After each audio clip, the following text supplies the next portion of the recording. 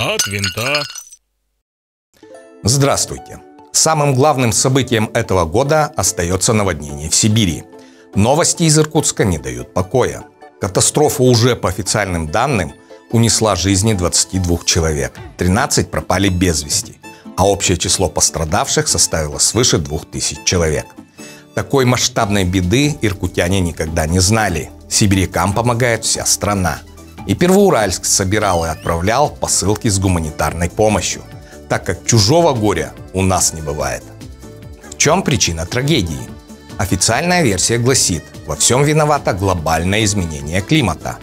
Вон на Аляске стоит дикая жара, выше 30 градусов, леса горят, ледники тают, реки переполнены, и все может обернуться масштабной катастрофой.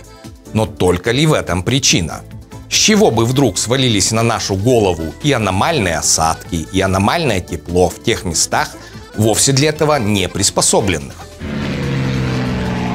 На фоне мудрых рассуждений о глобальных природных процессах как-то вдруг забыли о предупреждении, сделанном лет пять назад учеными-экологами и климатологами.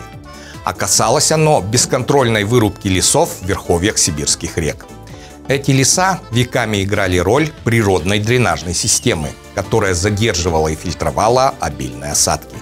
Теперь такой системы нет, а результат есть.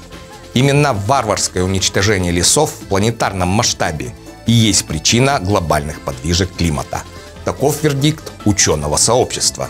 Беречь надо леса. И в Сибири, и на Аляске, и на Амазонке. Это вообще главный лесной ресурс планеты – и на нашем Урале давно пора об этом задуматься, а не топором махать. Сумеем ли мы сделать выводы из сложившейся ситуации?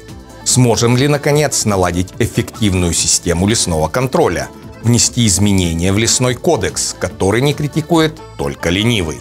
Сможем ли обеспечить надежный прогноз возникновения чрезвычайных ситуаций типа иркутской? Или так и будем обреченно пенять на глобальные климатические процессы, беспомощно разводя руками. Берегите леса, граждане, и от винта.